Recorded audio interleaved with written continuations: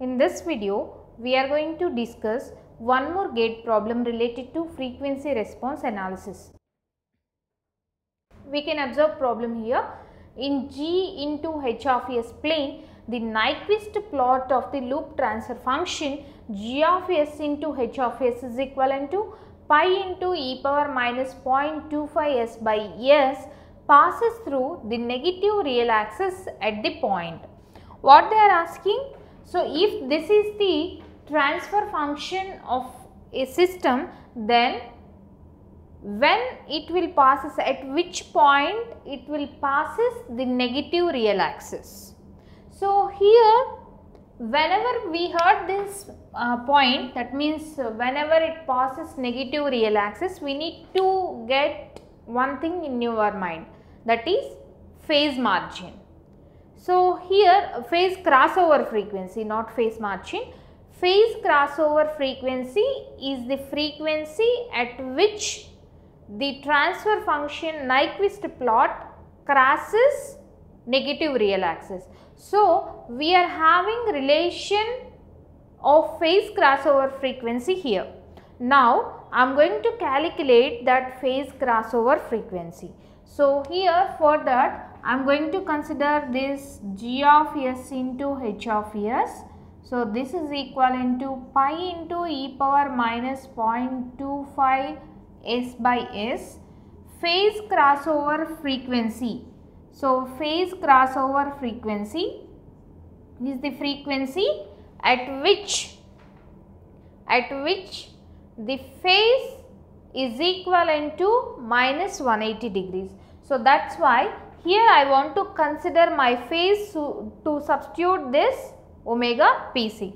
So, here I am going to consider in terms of j omega, j omega into h of j omega is equivalent to pi into e power minus 0.25 into j omega divided by j omega.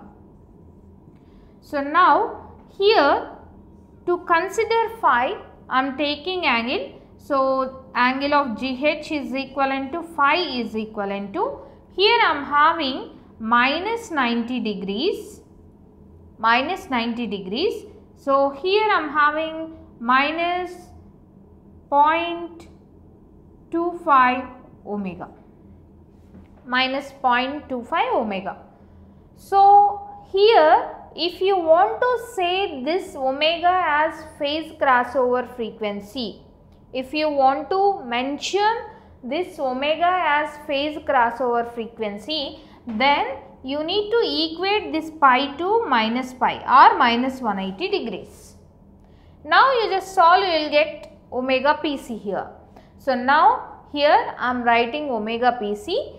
So here to find out phase crossover frequency, so this is equivalent to if I send this minus 90 to here plus 90, so minus pi plus pi by 2, so that is equivalent to minus pi by 2 divided by 0.25. 0.25 means, so here already I am having minus 0.25 multiplication you can see. So, this term is equivalent to minus pi by 2. So, if I want to send minus 0.25 this side, so I want to mention like 1 by 4, 0.25 I can write like 1 by 4. So, this is equivalent to uh, finally I am getting so here minus 2 pi. So, I got so already I am having minus here so plus 2 pi omega Pc is equivalent to 2 pi. So, what I done is I considered in j omega domain after that by observing this line I am getting something uh, in my mind about phase crossover frequency.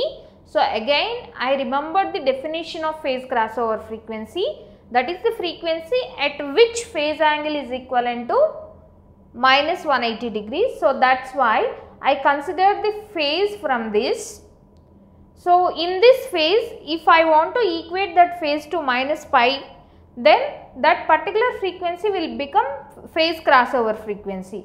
So, by this relation I got omega Pc as 2 pi, but this is not our final answer. What we need to find out? We need to find out the point of intersection with the real axis. So, how we can get that point of intersection with real axis?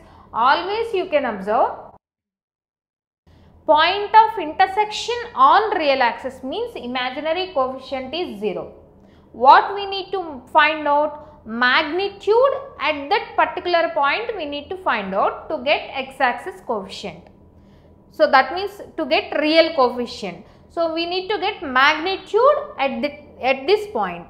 So, that means magnitude at phase crossover frequency we need to consider. So, here now phase crossover frequency finally I got 2 pi. Now, I am considering my magnitude with this. So, pi into e power minus 0.25 into j omega divided by j omega. So, here I want to consider omega pc here. So, omega pc so, here this is equivalent to magnitude of this is equivalent to pi by omega Pc. So, pi by omega Pc is equivalent to pi by 2 pi. So, this is equivalent to 1 by 2.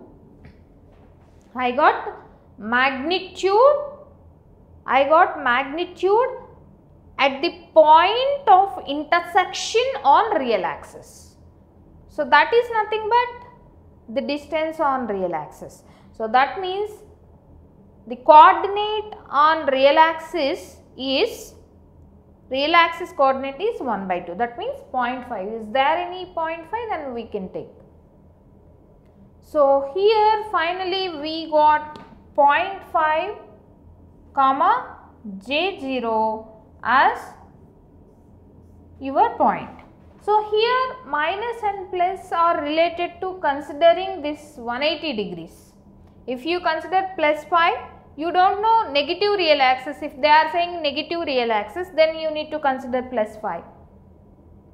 If they are saying positive real axis, then sometimes you need to consider according to the type of system and order of system you can consider plus pi.